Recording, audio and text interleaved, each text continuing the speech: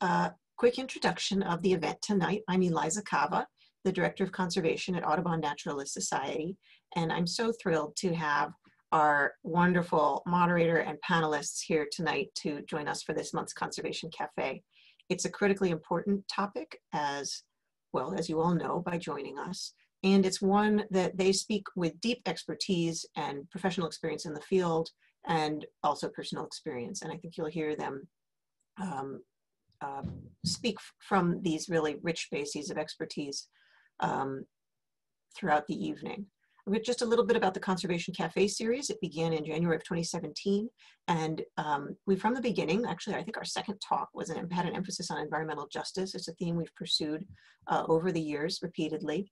And we have pivoted quickly to go online. And by going online, we've really broadened our audience and we've been so excited to do so. Sometimes we even have cats who never come to Woodend Nature Sanctuary at ANS's headquarters.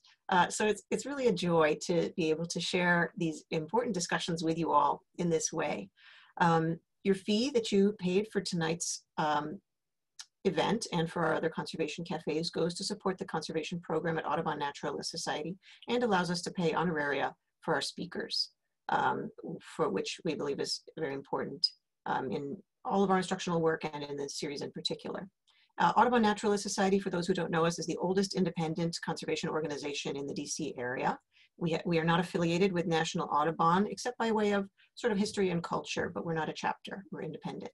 And we have a conservation arm of which I'm the director, which we do policy, advocacy, and outreach to adults and families, as well as community science projects, mostly around water.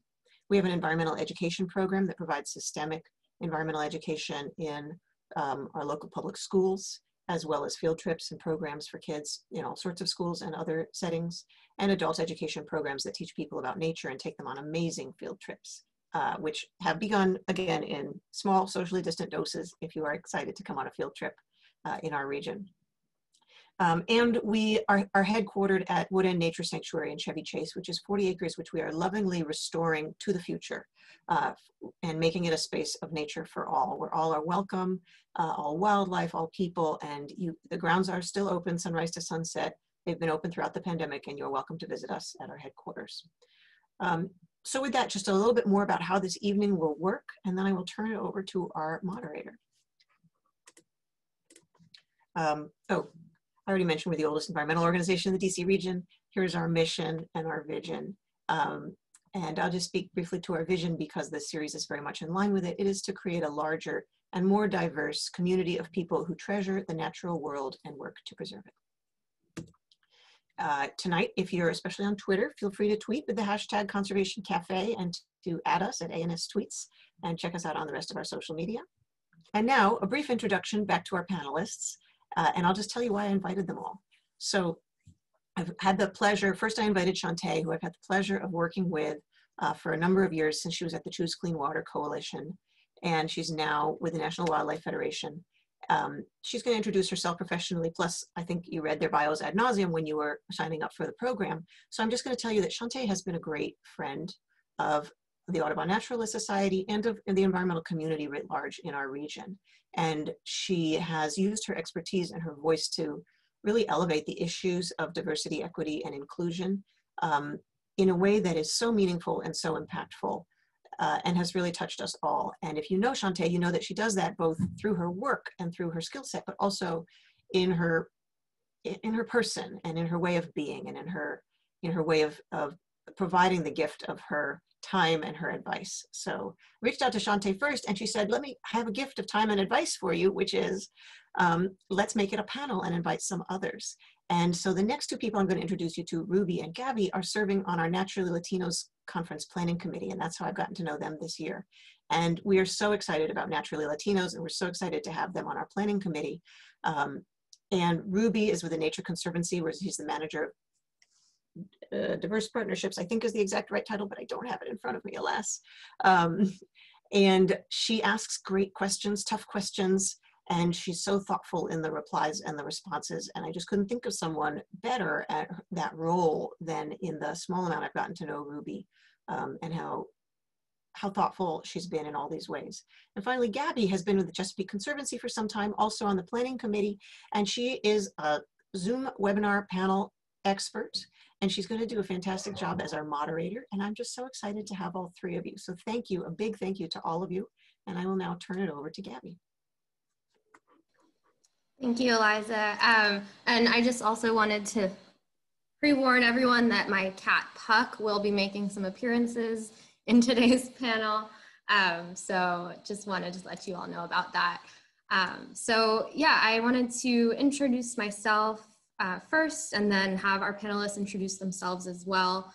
Uh, my name is Gabrielle Roffe. I go by Gabby sometimes. Uh, my pronouns are she, her, and I'm the manager of equity and community engagement at Chesapeake Conservancy, which is a nonprofit based out of Annapolis. Um, before I get into my background, I do want to do a land acknowledgement because if we were all together in person, we would be sharing the same land.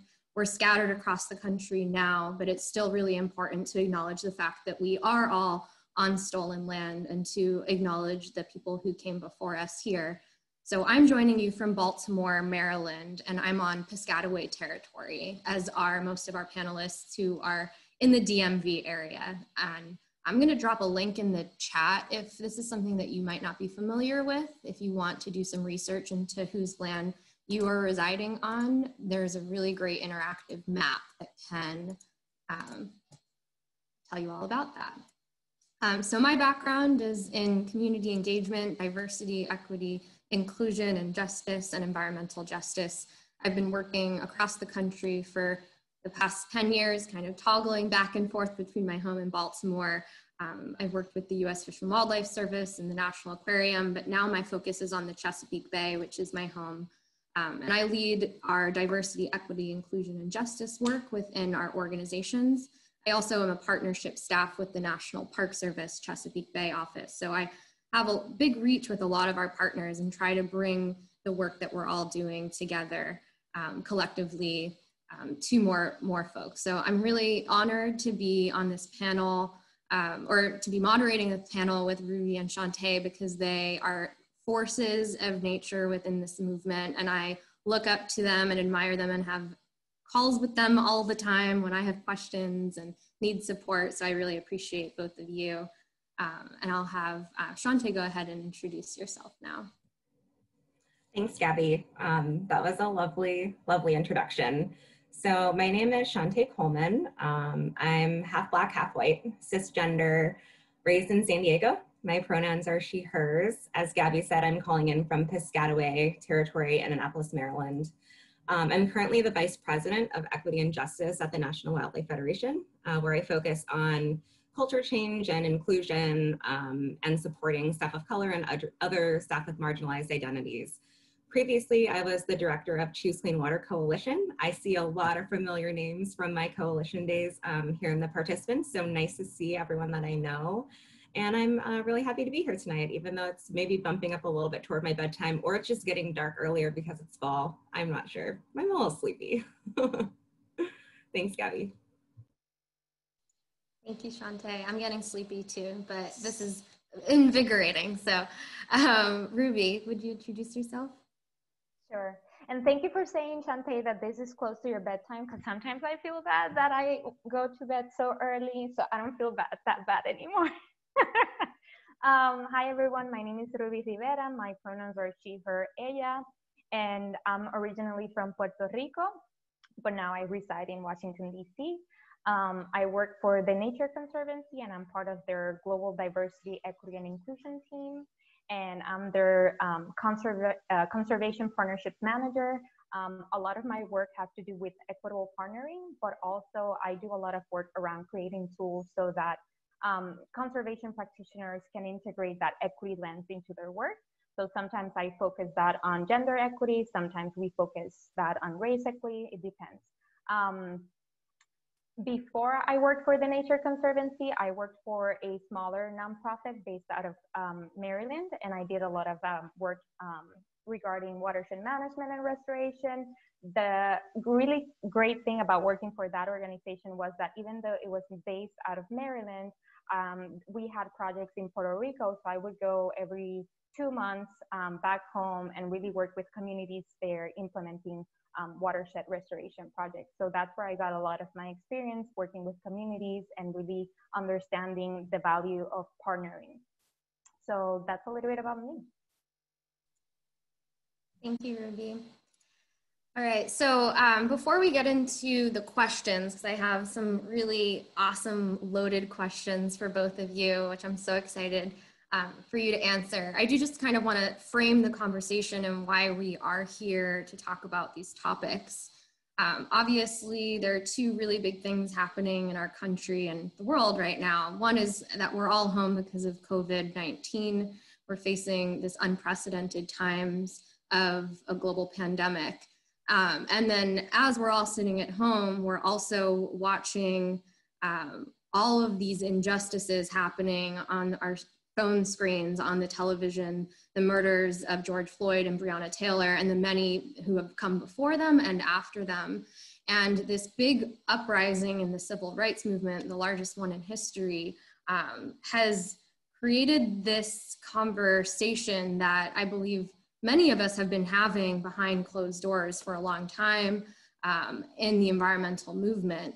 But now a lot more has come to light, and people are starting to really want to learn. They're taking the time to listen and truly unlearn a lot of the histories that we have um, have, have learned in this country. And so this was a great opportunity for a topic um, around how us in the environmental movement can grapple with racism, diversity, and justice because the injustices happening in our country are um, are not limited are, they're not limited to one area. And our history specifically in the environmental movement has a pretty strong history of racism. And uh, eliza i know that you have a slide that you can pull up um, to kind of show some quotes about the founders and the fathers of the conservation movement um, who were explicitly racist and linked white supremacy to their goals of conserving and preserving nature. And this is a history that we have to acknowledge in order to move forward and in order to break systems of oppression and do anti racism work within our field uh, and reckon with this past. And so these are some of the things that we're going to talk about today. Um, we're going to get into the ways in which we are perpetuating this white supremacy culture in the conservation movement, especially as we think about stewardship. And we're going to understand what we can do individually and collectively in order to right the wrongs of the past and move together into um, a future in which we break these systems of oppression. And Ruby and Chanté have extensive work in this within their organizations, so they'll be giving us a lot of great insight on how we can do this at our organizations and in our own personal lives. So um, another oh, pre-reading, so I, I, hopefully everyone read the, the article on the environmental racist history um, from the New Yorker. Um, but as you can see from these quotes, the fathers of conservation were explicitly racist and perpetuated a lot of these new, uh, notions within the conservation movement. And Eliza, you can go to the next slide too. Um, there was an article that I wrote in the Bay Journal, so hopefully everyone had a chance to read.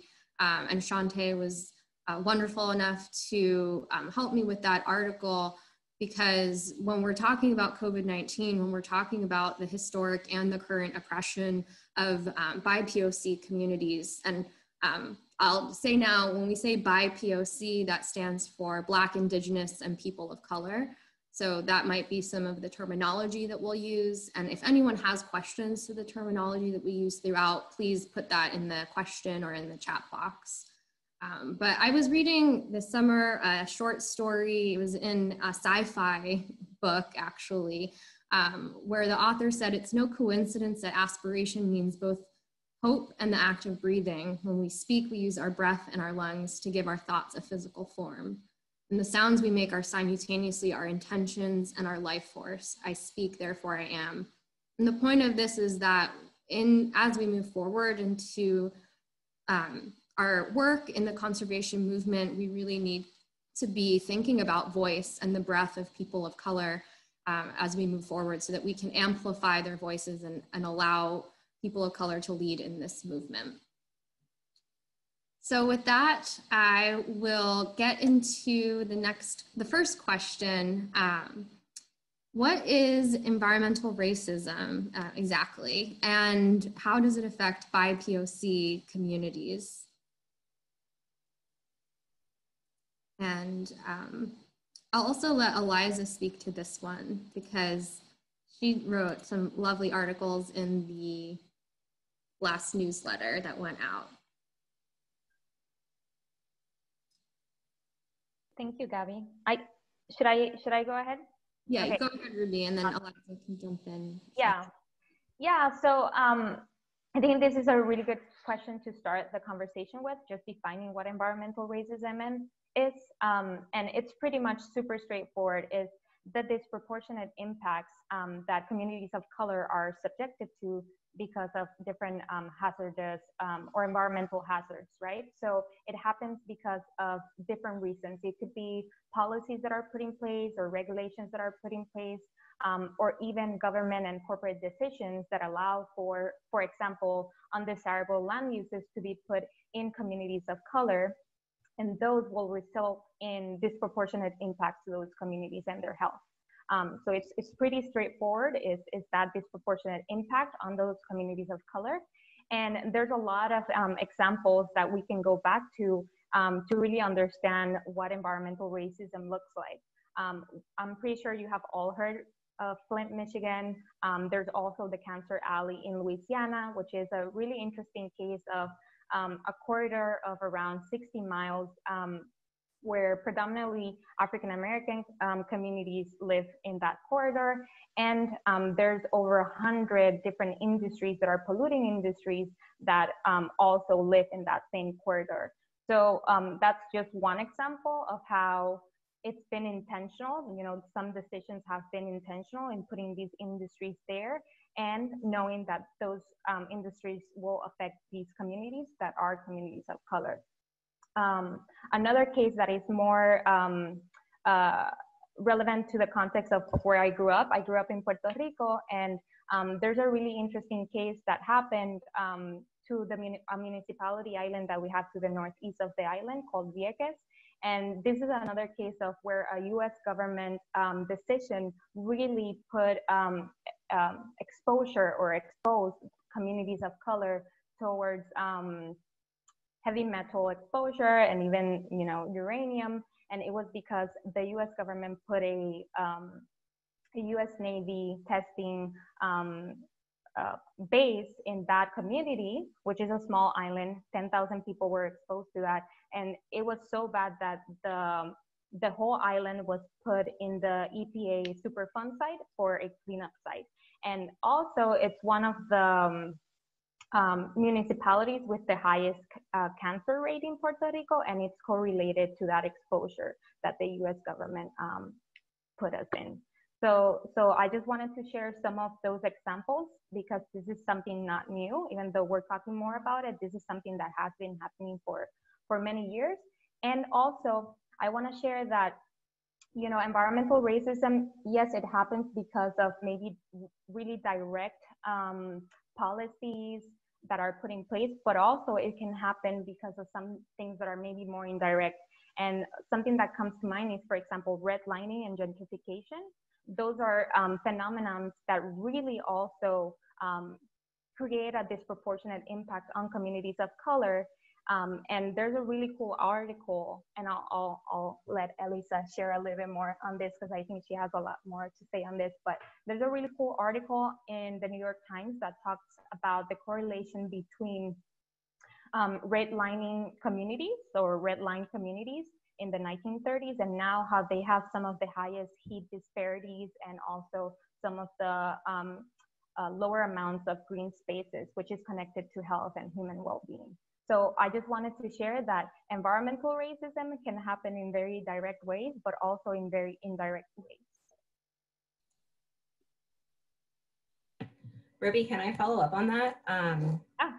Those are fantastic examples. And just to take a step back and provide a little bit of historical context about the term environmental racism. So that actually came from the environmental justice movement. So I don't know if you all have ever given a lot of thought as to why the environmental justice is a se separate thing than the environmental or the conservation movement, but I've been thinking about this a lot lately. And so the EJ movement is separate because traditional, as Ruby said, traditional conservation and environmental organizations were basically erasing BIPOC communities and low income communities. And so, you know, when you look at John Muir and Teddy Roosevelt's views of, of like wild nature and places that need to be saved for leisure, basically for rich white men, um, this was, and this was also used as rationale to forcibly remove uh, native people from national parks. And so the conservation movement wasn't, as you saw in that article, not created for or by BIPOC people or communities. So basically in the 1980s, there were so many environmental impacts, um, cancer clusters, asthma from emissions, um, impacts of climate change, lack of access to food, lack of access to um, public spaces. And the EJ movement really responded to that and the fact that the current environmental organizations were ignoring it and they started grassroots organizing around environmental racism and coined that term specifically. And so I don't know if you all have heard of this report. In 1987, the United Church of Christ Commission for Racial, Racial Justice published like the first ever report of its kind that showed that the placement of toxic waste facilities was linked directly to communities of color and low income communities. And it was the first report of its kind. They're specifically putting toxic waste facilities into these communities. And so you know, this sort of blew up into the, the Big Green letter. I don't know if you all have heard of that. The environmental justice groups wrote a letter to the Big Green groups. National Wildlife Federation was one of them saying, you all are not paying attention to the communities that are most impacted. And they basically called the groups out for being racist in hiring as well and having completely white staff, completely white boards, completely white leadership. And so I just wanted to give a nod to the EJ groups for, because when they wrote that letter, the Big Green for the first time started taking this conversation a little bit seriously. And that spiraled into the executive order and a lot of other things. Um, but the conversation that we're having on this Zoom call today, I feel it can be attributed to the energy that was created by that letter back in 1991. So I just wanted to name that. Thank you both for those histories and the current examples of how it's happening. Um, Eliza, would you like to chime in and talk about the local DMV area and show us a map? I'll, I'll be happy to, yeah, to localize the conversation a little. And again, I, I do want to mention that when we talk about um, redlining, which is really about uh, the ways in which racist decisions were used to shape land values, that is that kind of was an early domino that led to so many other lead, led to and leads to so many other examples of environmental justice. Um, but the, there it's it by itself doesn't necessarily explain doesn't only explain why there are more toxic waste hazards for example um, in low income and bipoc communities um, you know those the placement of hazardous or more polluting um, industries or sites or facilities happened in communities that did not get redlined, happened before redlining, uh, you know, happened in places where redlining is no longer really relevant because of gentrification, where they just changed the, the, those things. So, um, you know, the redlining that happened in the early part of the 20th century, and it was really a phenomenon um, before, uh, well, in the, in the first half of the 20th century, is only part of the explanation for why there are so many place-based hazards where people live, especially low income and BIPOC people live. So I'll just, I will show you my map and explain it very briefly for the DC region, um, which actually didn't get redlined per se. Redlining is a, was a very specific tool that came about because of the, um, the, the Federal Homeowners Loan Corporation that said where federal dollars could go. Uh, this was a this was a different tool that happened in our area for insurance products. So it wasn't about mortgage loans, it was about insurance products. But if you couldn't get a federal insurance product, then you couldn't get a private loan anyway. So it had much the same effect. Um, but essentially what you're seeing is that the, uh, this is what they did in 1937. The federal government had a, a policy of creating these maps and grading all the areas according to how desirable they were, in this case for insurance purposes. someone said you can only see the bottom third of the map. Does it, I, hmm. I don't really know how to explain that. I am screen sharing the whole thing. Let me start the screen share again. Um, hopefully that is better. Okay. Uh, and for example, you've got areas down here, some of the lighter colored areas down here is type H. Type H is described as represents the Negro developments and the lowest grade of residential area. The only possible future is that the present scattered structures may be razed and new planned subdivisions instituted in their place. And indeed, the historic community Barry Farms, um, which was one of the oldest free black communities in the area, was razed here and replaced with um, public housing instead. And then some of the other areas, type A, oh, surprise, surprise, up here, um, is described as containing the high, appealing to the highest type of occupants. And if I was at my office at Chevy Chase at Woodend, I think I would be very close to various grades A and E up here. Um, so you can just see that they used these really subjective, really racist characterizations that had real monetary value and resulted in a, entire generations of families not being able to get wealth from home ownership. And it started out bad, but it got really bad after World War II when we saw this enormous wealth leap in the white community uh, that had access to GI Bill and subsidized loan products through it that completely skipped Black communities in particular because they lived in these areas where those federal loan products would not be used. Uh, so it's, it's multi-generational at this point.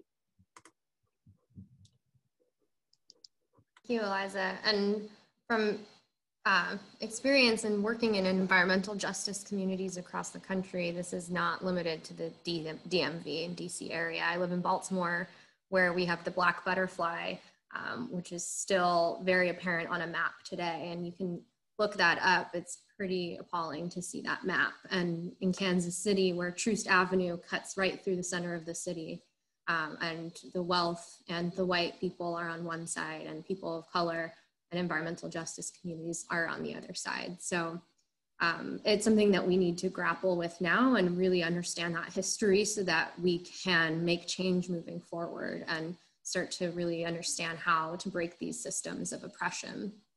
So one thing that was mentioned um, was that the majority people working in the environmental movement in that the UCC report um, and now in all of the Green 2.0 reports is that um, most people working in, in the environmental field are white.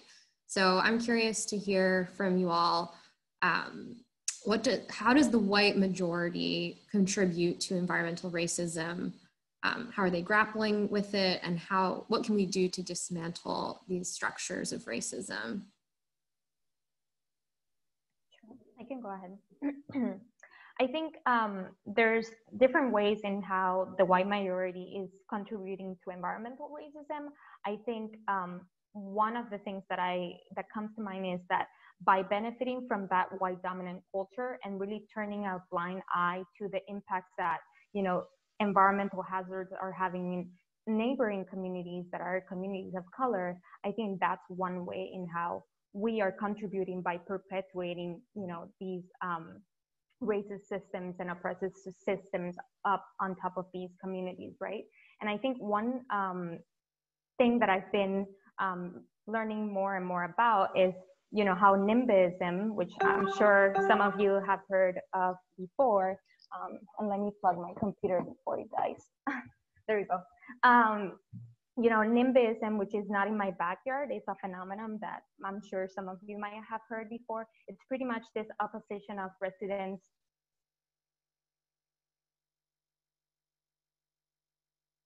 I had a feeling that was going to happen. I was like, please don't let Ruby's computer die. I don't want to do I saw her face as soon as she went out. She's like, no.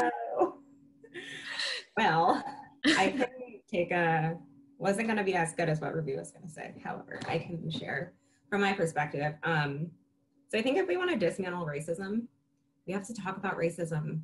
And I feel like that's what we're doing today on the Zoom call, which is great. Keep talking about it, keep doing the personal work, keep learning about how you show up in the world, understand how you're perpetuating racism, really important. I wanted to give an example of something that I, I was going to follow up with Ruby, but this is still a good example of um, something that I learned about recently. I don't know if it really falls into environmental racism, but I just want to, I'm going to be like at the VP debate where I'm not going to actually answer the question. I'm just going to talk about whatever I want to talk about. So a historical example is, so everyone knows that wildfires are happening in California right now. Um, natives were the original stewards of the land there in what is now known as California. Um, Native peoples actually did, they did controlled burns, which were religious ceremonies that cleared out underbrush and encouraged new plant growth. And then when white settlers arrived with their concepts around being afraid of fire, uh, they suppressed these controlled burns. They forcibly displaced tribes and their religious ceremonies went along with the tribes. And so now we see wildfires raging across California, and government officials are actually bringing back good fire as a part of the solving the problem. And they're working with the indigenous community to do this. But the problem is, is that it's actually harder to reintroduce good fire into the system when it's been gone for so long. So, you know, it's interesting because the white majority, the settlers, like they were explicitly racist. They were forcibly removing Native Americans and we're still struggling with the ramifications of that today related to conservation. So it's really not serving us or or the natural environment. Um, so I just wanted to share that. And I think it's positive that California is building relationships with the indigenous community. Um, I think it's a really good example of leaning on Black, Indigenous, people of color communities because we know that the people who are closest to the problem know how to solve them. And so we need to be working with the people who are most impacted in order um, to really know how to solve the problem. So Ruby, I was just talking as you came back. Just thank you. And of course, yeah, of course, my computer dies in the middle of a webinar. You know, um, I'm sorry about that, but I was just talking about NIMBYism, which is that phenomenon that is not in my backyard, um, and it's an opposition usually from residents um, against some type of undesirable um, land use. And I've been thinking about how this is perpetuating that the impacts to of those undesirable land use goes to community goes to communities of color because what happens is um, usually more affluent, um, predominantly white communities will have a better chance of fighting against these polluting industries or these undesirable land uses. And then the repercussions of that um, designated land use will go to a neighborhood that is predominantly a community of color, right? So in a way, if we're saying we don't want this in my backyard, we should also say we, we don't want this in our neighbor's backyard. This, if, if we don't want it for us, why would we want it for another community, right? So I think that's one way where um, we could be advocating for um, fair policies, fair regulation, fair um, designation of land use, and completely um, pushing back against polluting industries that are if if we don't want them, why we should uh, put them in another place where they would be affecting people as well. So that's one way. Another way, when we talked about earlier about redlining and gentrification, um, we could be very um, intentional and um, very conscious about where we move and how we're investing our money and in what communities, right? This way, we are um, promoting that there's not a divestment in certain communities and also we could be pushing for more affordable housing so that everyone has um, equitable access to the same type of housing um, so those are ways in which the white majority can contribute to um, benefiting everyone and, and working for the benefit of everyone. Um, another thing that i want to um, also share is you know us um, we most of us probably work in organizations that are predominantly white and I think we have been working to really benefit a very specific um, part of the population, which is a predominantly white middle class population. But I think, you know, there's um, a new, more inclusive um, way of doing environmentalism that is really starting to take um, popularity, which is intersectional environmentalism. And I've been um, a fan of Leah Thomas, which is the, an African American woman that really coined this term using um, the theory of intersectionality from Professor Lee Kimberlé Crenshaw. And what I like about this particular way of thinking how to do environmentalism is that it's a more inclusive um, version of environmentalism, and it really puts in the forefront the both people and nature. I think in the past we have seen that the conservation movement has really focused on preserving land and um, uh, conserving birds and things like that, but we have always missed this connection between people and nature. I think it's been almost like there's been a line that has been drawn between those two worlds, and in reality, what we should be doing is really trying to um, connect them, right? So this new way of thinking and of doing inter, uh, environmentalism, intersectional environmentalism, really focuses on the injustices that are happening both to marginalized communities and also, you know, Earth. Um, and what I like particularly about this and how I feel we could be bringing this into our work, particularly in predominantly white organizations, is that it really um, thinks about the multiple identities that a person can have and how um, those multiple identities can really shape up how you experience um, the world and how you're treated in that world, right? So that means that for some people, discrimination could be multiple layers of it and not just one because of the multiple identities that you have.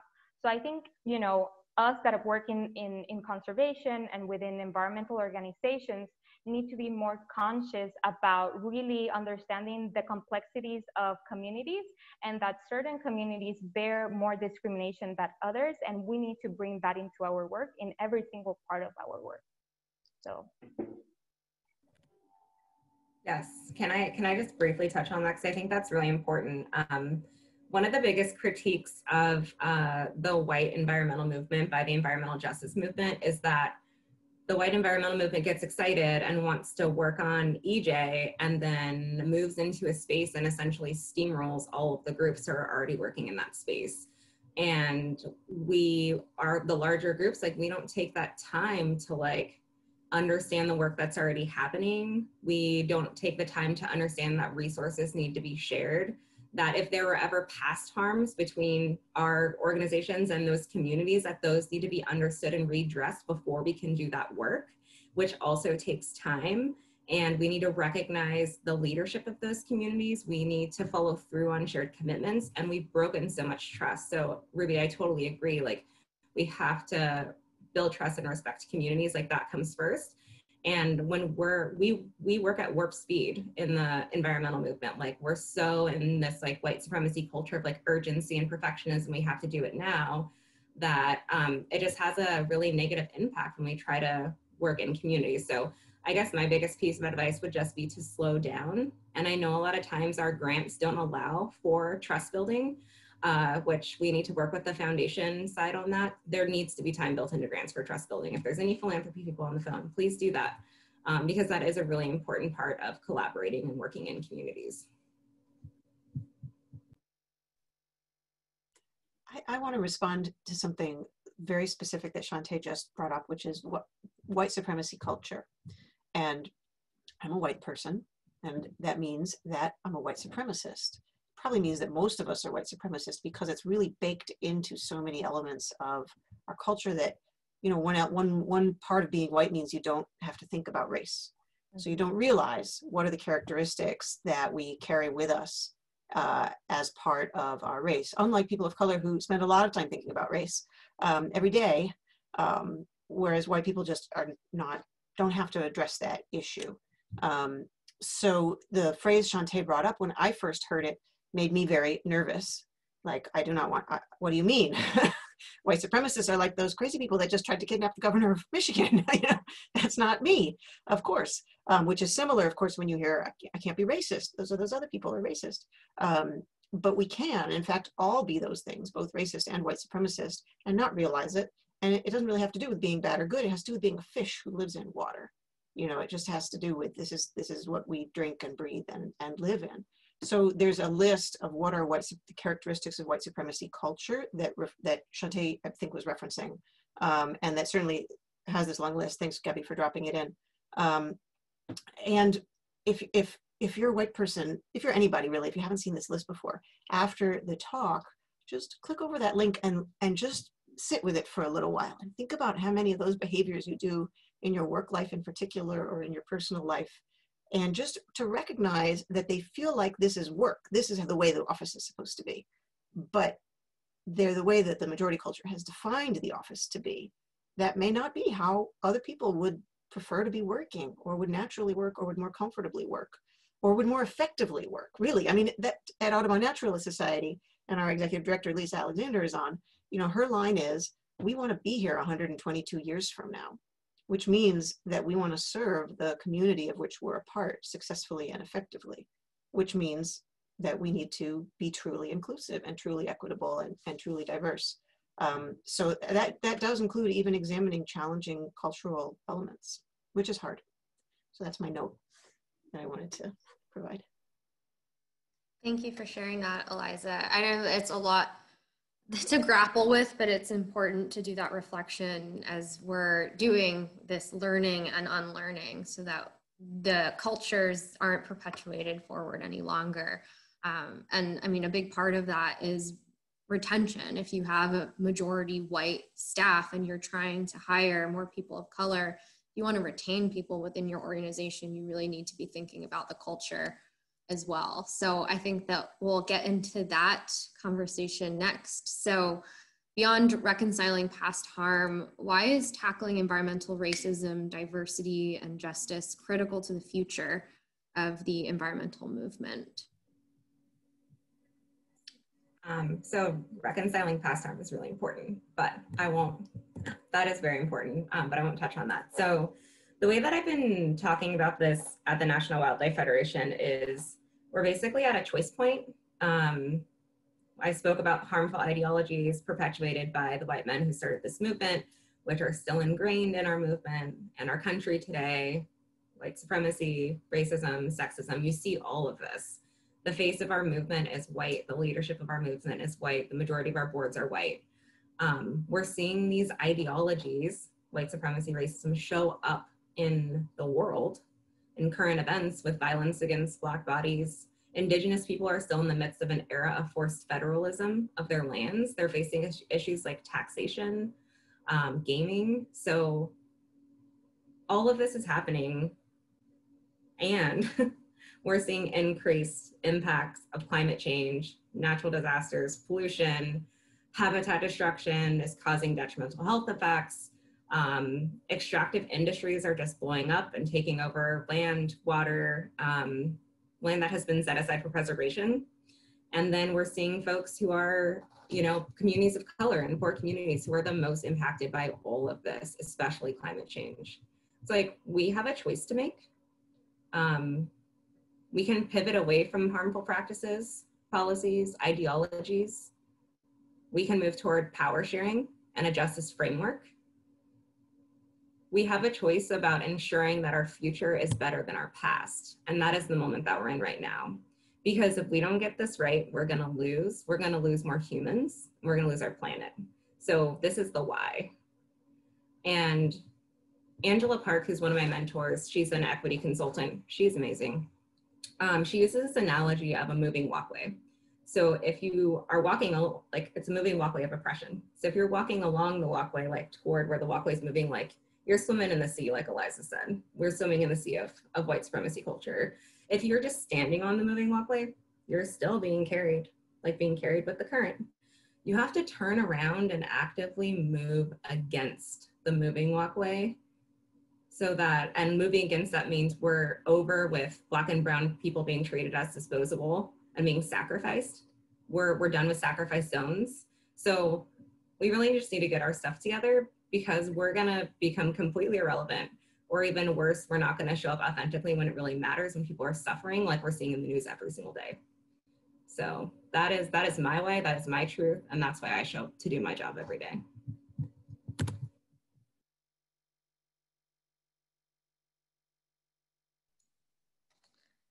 Uh, that was extremely powerful. I was like, shivers all over. Thank you for sharing that truth, Chanté. Ruby, would you like to add anything to that? I think that was perfect. So I'm going to let it there, leave it there. Thank you.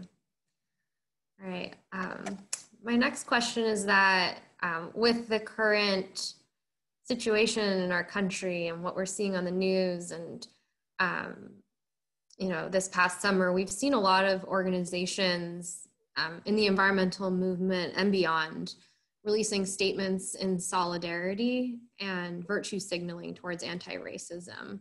Um, what can people do individually and collectively uh, in order to be actively anti-racist and move towards Black liberation? And I'd really like to talk about um, performative allyship versus genuine allyship here. And how are you actively shifting the cultures of your own organizations? That's a really big question. Um, so I'm going to focus in on what you said about anti-racism because that's a really important question and we need to figure out what our goal is. So anti-racism, equity, and justice, just to be clear, are three different things. So what do we want? Do we want anti-racism, which basically is all of us acknowledging that racism is real, which a lot of us already knew, some, some folks didn't know, and doing the personal work and, you know, integrating that into what we're doing and, you know, like trying to get woke. Or do we want equity, equity is like maintaining sort of the current structures that we're working in, whether it's in institutional structures, policies, practices, all that. But it's sort of like moving BIPOC up into leadership and giving folks opportunities, but maintaining the white maintaining the white people at the top who have the power. Or do we want justice?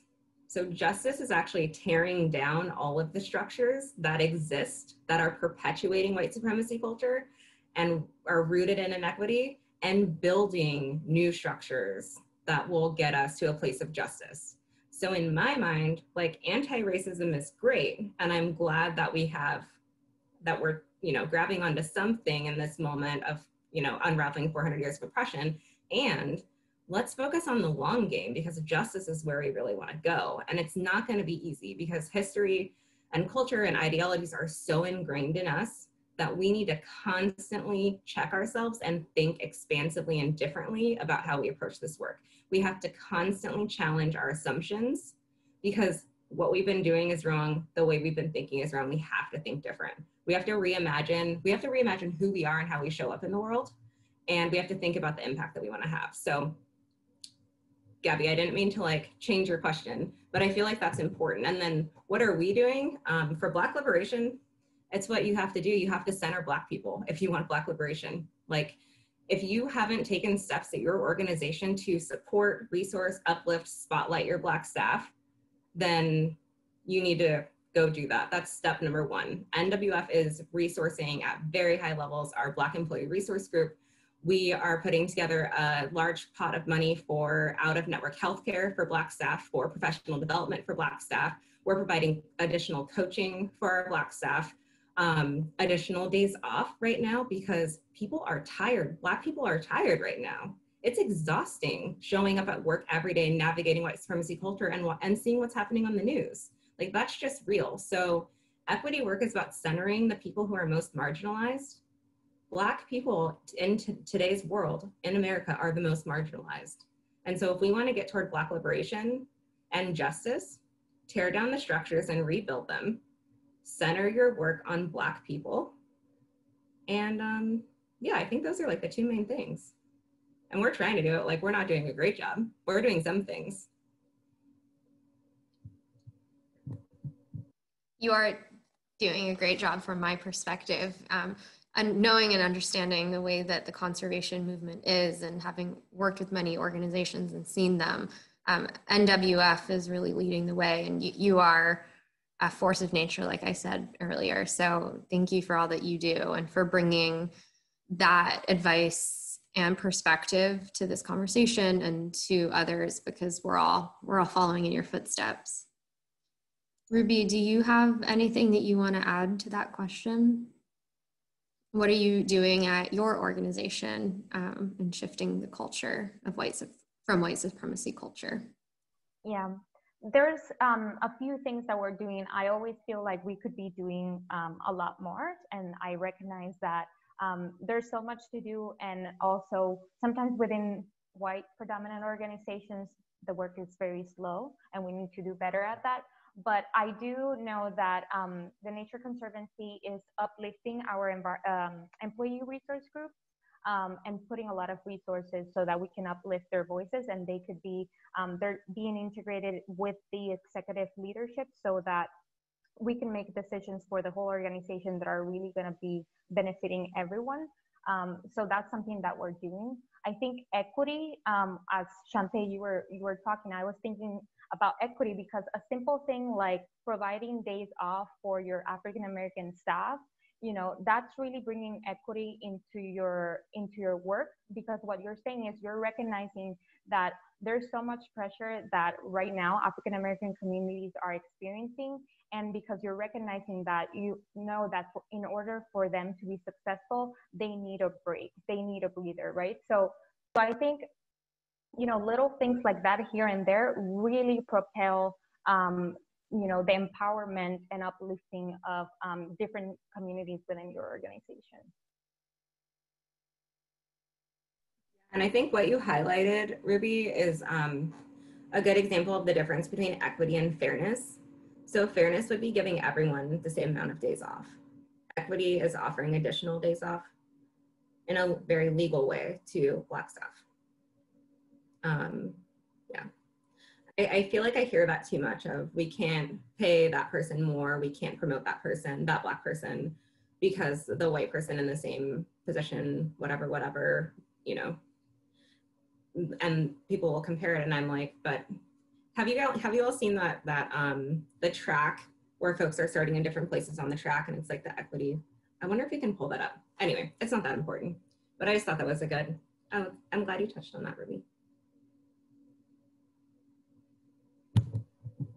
Thank you for um, making that distinction, Chanté. I haven't seen the track, but I've seen the Giving Tree and some other um, images about the difference between equity and equality. So I'll um, I'll do some googling in between and try to pull up some images for folks. All right, um, we've got one last question, and then we'll move into the Q and A session of this Conservation Cafe series. So, what can we do within our conservation work to address environmental racism and other institutional, systemic, and interpersonal inequities?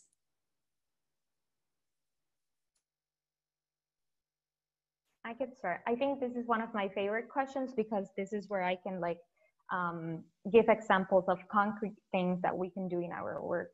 Um, and we can also do them at individual levels. But, you know, the first thing that I want to say, and I, I think Chanté, you said this very beautifully, is conservation will not be possible without justice and equity for all people, right? So we need to start from that point, recognizing that, and then we can move forward in doing um, and addressing um, environmental racism and in you know different types of inequities in our organizations.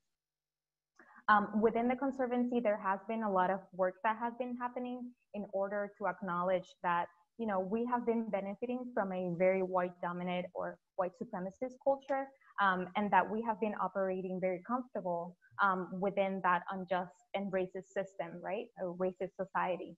And that it's time for us to really focus on that um, undeniable connection between conservation, race, um, social, um, economic justice, and that we need to really commit to using our resources, recognizing that we're in a place of a lot of privilege, a lot of power, um, and by recognizing that if we commit to put uh, to putting our resources towards more equitable and effective conservation, then we're moving into the right direction. And um, a lot of work is happening um, in different bubbles within the organization. And I want to share a little bit about the work that I do, particularly um, around transformative funding mechanisms, because I think this is one way that we could really create change. Um, so I'm sure some of you might know, um, especially those that work in philanthropy, that there's huge inequities in the philanthropic sector and how much money goes how much money is available for um, environmental work and how much of that goes to environmental justice organizations, community-based organizations, and how much of that money goes to larger organizations like TNC. So I've been working on really trying to understand, you know, the inequities of the philanthropic sector and in recognizing where we are in that chain of like big foundations that give a lot of money, where we are kind of in the middle, and then organizations that are really doing community work and need um, more access to that um, to that funding, right? So one thing that we're doing right now, um, and this is happening within the Cities Network, which is a, a, a sub um, group within the Nature Conservancy that focuses on urban conservation work, is leveraging our place and um, the access that we have to funding and really trying to channel that to EJ organizations and community-based organizations that right now are in the front lines of many different things, right? Like COVID impacts, um, uh, systematic racism, like all of these different things. This is us thinking, you know, in a more intersectional way. And this doesn't mean that this is the best way of, you know, putting the money into the, the community-based organizations and environmental justice organization, but this is one way right now that we could be thinking about how we're transforming the way that we're funding and channeling those um, that money, right? Eventually, a conversation needs to happen where it's like, why don't these big foundations give directly to these community-based organizations? But there's a lot of things that you know um, go into that. So right now, what we're doing is you know creating um, this funding mechanism that allows for that funding to go from this bigger foundation into smaller community-based organizations, recognizing that there's the there are the ones that know what they need and we can support them so that they can do the work that they need to do. Um, and recognizing that we, we, we don't work in communities right? We're a larger organization that sometimes don't understand the complexities and the nuances of a lo- local work. Um, so that's one way where you know you in your organization if you have some sort of power over um, accessing resources and funding that's one way that you can start thinking about sharing more equitably and really trying to leverage your position of privilege and power to put it in communities that you know are being disproportionately impacted by a lot of different things. And i can share but more but i want Chanté to also add. That's great. Money and resources are so important um, to shift power. So i would just i would say i'm going to touch on the institutional systemic interpersonal component. Um, you all should be able to do an equity analysis. And equity analysis is understanding how inequities are playing out at four different levels. There's the ideological level, so that's racism, sexism, transphobia, all of that stuff. Then there's the institutional level. Those are the policies and practices that uphold the ideologies and keep them nice in place at the top. Then there's the interpersonal level. So that's how it plays out between us as individuals so that's if you hear uh, racial microaggression, that's that's inequity playing out on the interpersonal level. Then there's the internalized or individual level. It's how I then start to internalize uh, opinions or feelings about myself based on ideologies and based on what's happening on the other levels. And so I'm pushing the other executive team members at the National Wildlife Federation to be able to apply an equity analysis to NWF, we've gone through that exercise many times, but also to their, their work and their portfolio. So like, where does oppression show up in philanthropy? Where does oppression show up in finance? Where, you know, so like just asking those questions. So think about your work, think about what you do, your organization, and think about how oppression shows and inequities show up where you are. And because the only way we're going to be able to start to counter these things is if we can name them and, re- and recognize them. And then I would just say, like I touched on this already, but like uplift the Black people at your organization and in your personal life. Like if you're white, like do some work uplifting Black people. Like that goes a long way. And then keep doing the personal work. We send out resources. There's a lot of stuff in the chat box. Keep reading, keep learning, keep growing. And you're here today um, on this optional webinar learning uh, more about racism. So uh, just keep it up. Um, really appreciate you listening. Thank you both for answering all of those questions so beautifully. Um, I think we've got about 25, 20, 20 minutes for Q&A from the audience. Um, I've got some questions lined up that have been upticked by other folks. Um, and the first one I'm gonna start with is Emily's question. Um, she went into her personal and professional background, um, being the only POC staff at her organization, growing up in an EJ community and now has a, a pretty big question. Um, how does she do um, EJ work and, and diversity work in a way to ensure that she's creating a relationship between folks from the EJ community and the mainstream organization that she works for? Um, and that it's done towards justice and not just towards diversity has an impact and has an impact for them and is helpful, not harmful. And also that her personal friendships and relationships remain intact. That's a big question. And I would just add to the question and ask also like, how do you make sure that you're not tokenized in that process or boxed into only working on a certain type of work? Because I found that it's really easy for us BIPOC people to be assumed that we're going to be the EJ person or we're going to be the community partnerships person or we're going to do the DEIJ work and we're going to lead the committee and all of the stuff. Um, and so I actually try really hard to make sure that I'm still taking on some clean water policy projects. I'm, I'm an attorney. I have a background in clean water policy.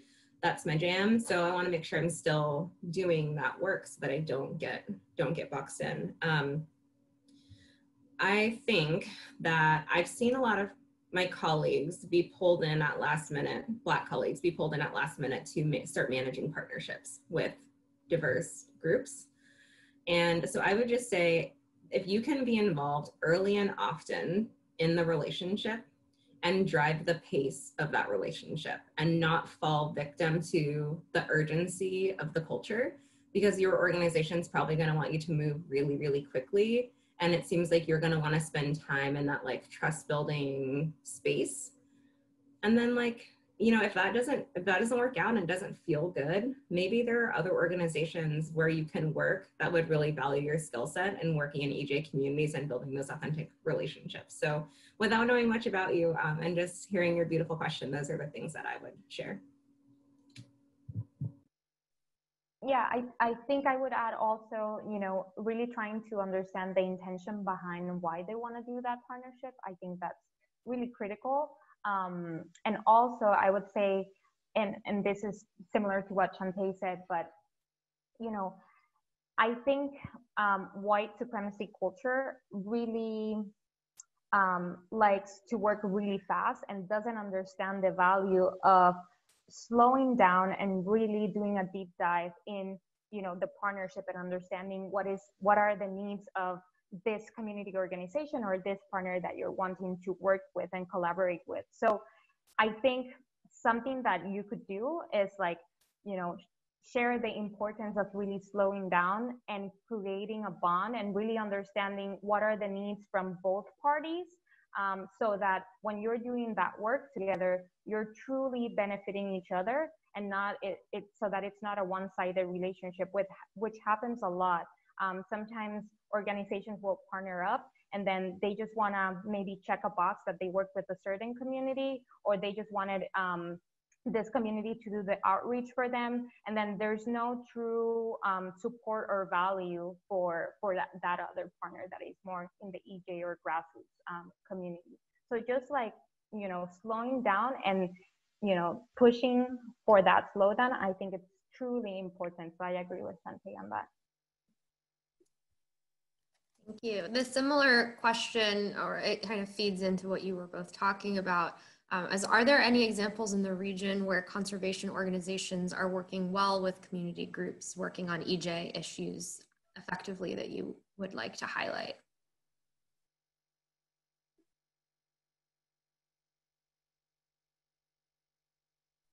I, I can share a little bit. Um, so the Nature Conservancy, we have you know local chapters in every single state and within the organization we also have the work that happens within the cities network.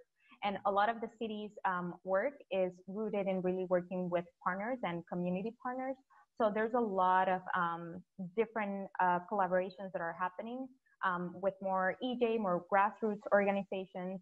And um, a lot of the work that we're doing is pretty much creating funding mechanisms so that we're truly you know sharing resources and putting the resources in the communities that are already doing the work. Um, so there, there are some good stories and also there's a lot of learning that happens within this work, right? It's, it's not all perfect. but I think the, the Cities Network is doing a great job at um, working closely with um, more grassroots organizations and really sharing power, which I think it's something that um, larger organizations really need to um, learn and um, unlearn certain things about like sharing power and not coming in and wanting to take lead um, because there is a larger, more resourceful um, organization. Um, Mustafa Santiago Ali just did a series of environmental justice roundtables um, with a team at NWF. And these highlighted a lot of really amazing frontline community leaders as well as members of Congress. Everyone who sat on the panels were BIPOC. We had one that was a youth youth roundtable, and then we took all of that and did a national roundtable. So it's on our website. Um, take a look, but a lot of really good information came from that. A lot of focus on water, infrastructure, all sorts of things. And so I also feel like we should think more expansively about our definition of environmental justice because we can probably all think of ways that we're working on environmental justice. We just haven't maybe traditionally called it that way or called it environmental justice.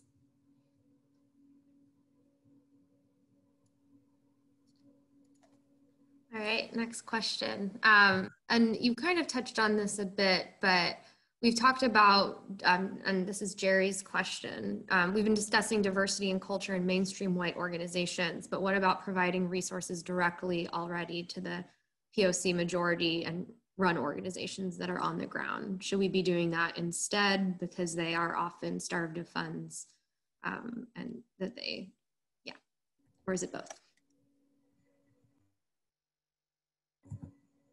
I want to go?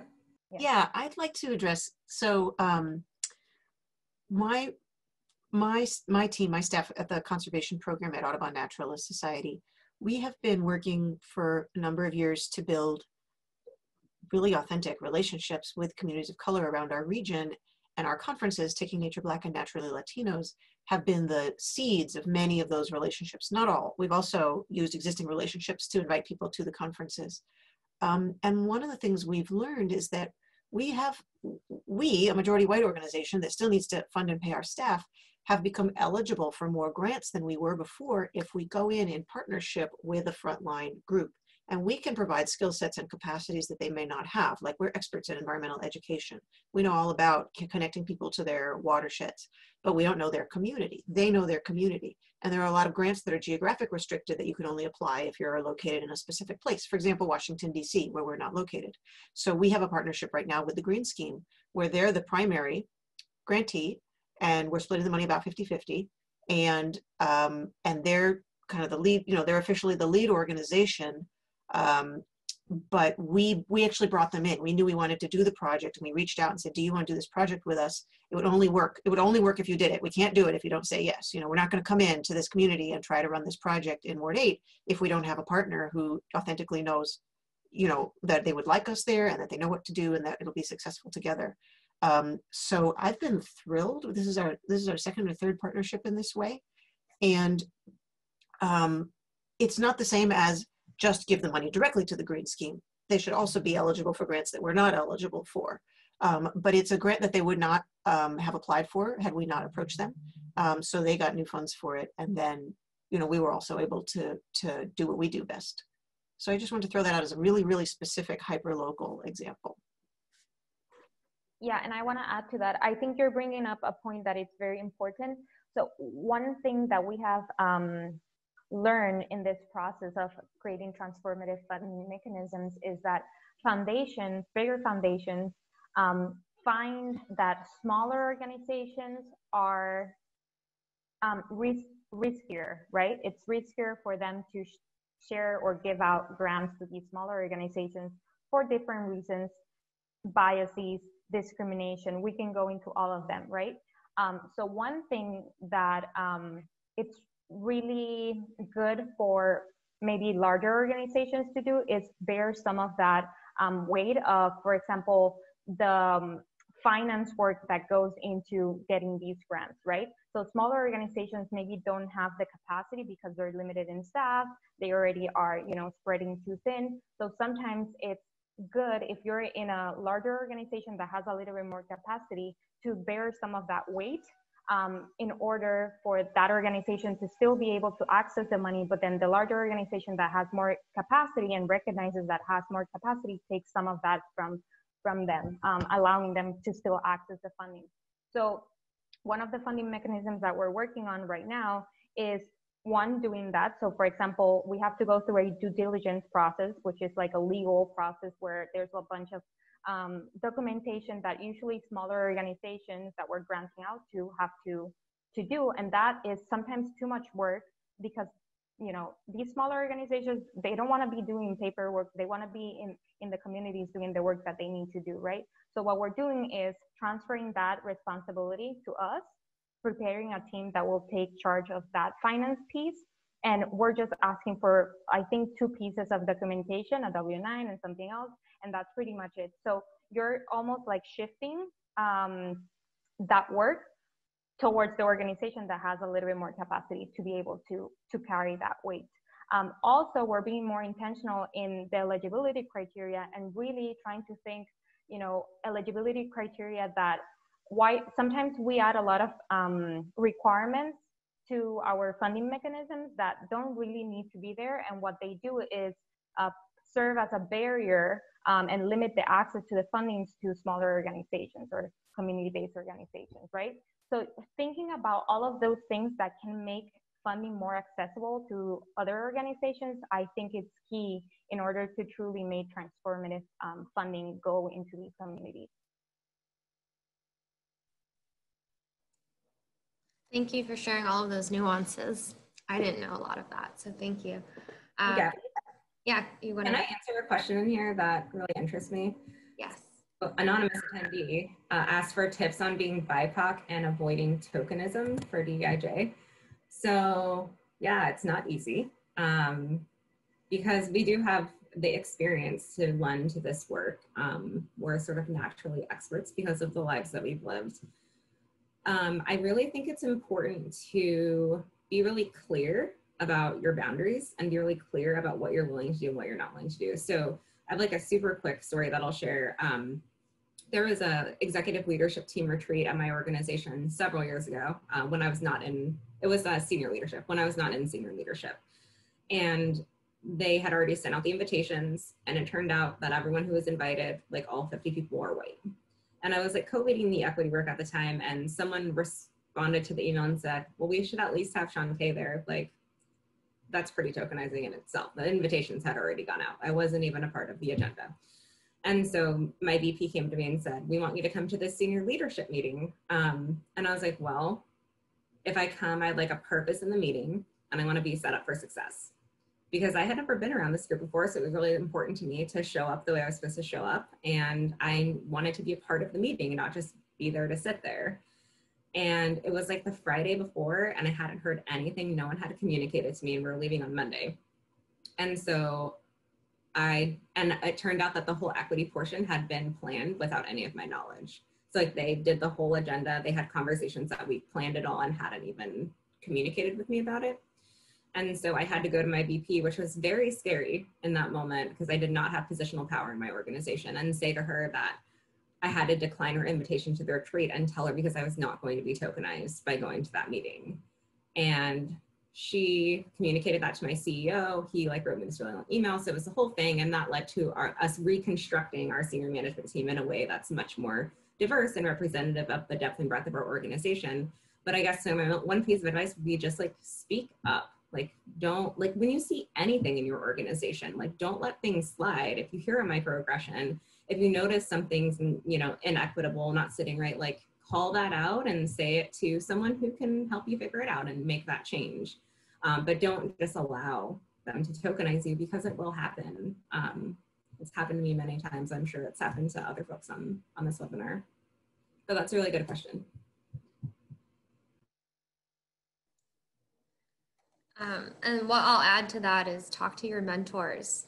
I've called Chanté so many times to say, like, what do I do in this situation? And um, find a network of people who can support you in this work, especially if you are the only BIPOC person at your organization. Um, having that support network is crucial because being the only person in your organization as a person of color or doing DEIJ work is an extremely difficult burden to shoulder. Uh, so it's a lot on one individual. There's a lot of emotional labor uh, attached to it. So make sure that you have that support network. And if you don't, please reach out to the uh, those of us on on this call because we're happy to tap you into those networks. Um, Ruby, do you have anything to add to that? Yeah, I would say um, make sure also um, as much as possible that you know if they're bringing you into a project or into a conversation and they want you to share your experience or whatever it is and you feel comfortable doing that that they also um, pay for your time and your expertise and the skills that you're bringing up. Sometimes a lot of um, bipoc um, people do this work for free. And not only we're doing the work for free but the emotional toll no no one um, uh, takes that into consideration. Like sometimes reliving some of the experiences that we have that we go through it, it's really painful. And i think we need to you know say this is valuable that i'm i'm if this is valuable that i'm sharing this with you you should also compensate for my time and for me opening up like this. Um, so just keeping that in mind. And i think yeah speaking up when sometimes when something feels uncomfortable probably it's because it's not right. And you know having a network where, where you can share you know what's going on and just getting you know that soundboard that will let you know yeah this is wrong. Um, it's also super helpful so that you know when they're tokenizing you or not.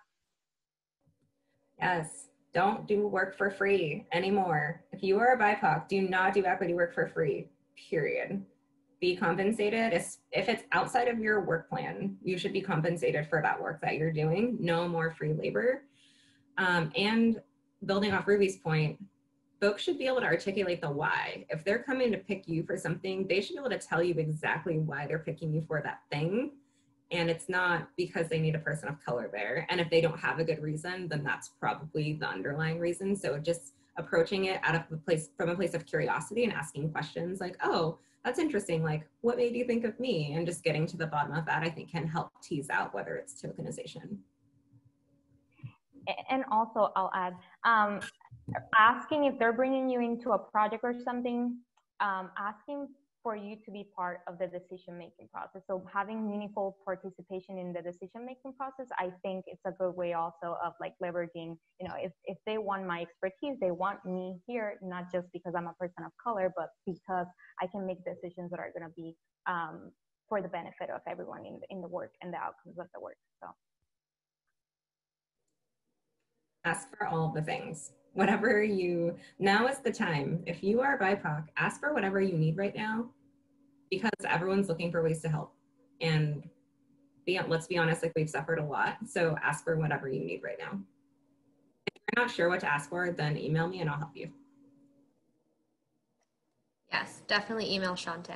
she will help you Um, so another question that came in um, along this topic, and this will probably be our last question, is that what's the best way to navigate centering um, BIPOC people without putting the extra burden to educate the predominantly white staff?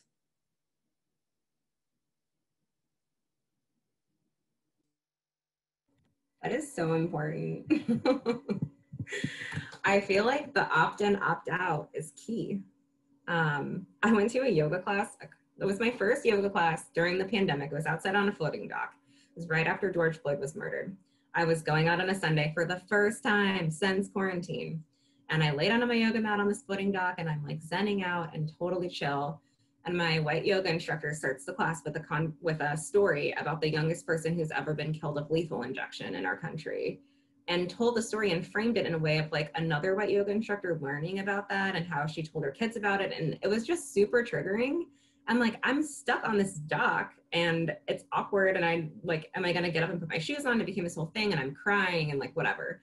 So I just feel like if you're going to center on white people and white learning, give people of color a chance to opt out and just say, I'm good. I actually don't want to talk about this today. Like, don't start your staff meeting with a check in like and blindside unless you talk to the folks of in advance like just just be really mindful about that. There's a lot of opening emails and finding a lot of surprises, and social media is not safe right now. So we're sort of getting it from everywhere. So I would just that yeah, that's what I would advise.